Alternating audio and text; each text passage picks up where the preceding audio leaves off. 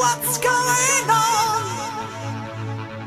Do not say, Good morning, Our Lady of Lourdes. And this is Our Lady of Lourdes official 815 Our Lady of Lourdes update. I'm Grace. I'm Mia. And I'm Lauren.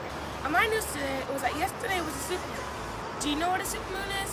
A supermoon is when there's a full moon and there's no clouds or anything blocking it. Did you see it?